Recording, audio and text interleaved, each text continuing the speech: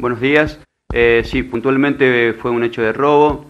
Eh, fue en el barrio que, mencionaste.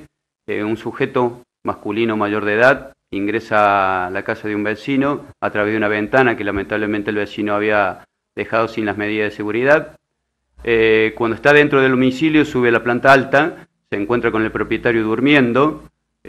Cuando intenta sacarle sus pertenencias, el propietario se despierta, se traba en lucha.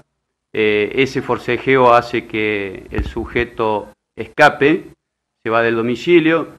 El, ese, ese, ese momento lo, lo, avisa inmediatamente a la policía. Ese, comienza a trabajar en el operativo Cerrojo se ubica el sujeto, se lo aprende y se secuestra los elementos que se le había sustraído al, al, propietario del lugar. ¿Se lo encuentra cerca de la zona de la casa damnificada? Exactamente, en la huida a un par de cuadras. ¿En qué edad tenía el delincuente? Mayor de edad, veinte y pico de años, no te lo puedo precisar en estos momentos, pero es mayor de edad. ¿Pudieron hablar con el propietario? ¿Se encuentra en buen estado de salud? ¿No sufrió ninguna herida? Exactamente, tuvimos contacto con el propietario, muy agradecido del accionar policial que fue rápido y fue preciso por la, la aprehensión, así que gracias a Dios eh, toda la familia está muy bien.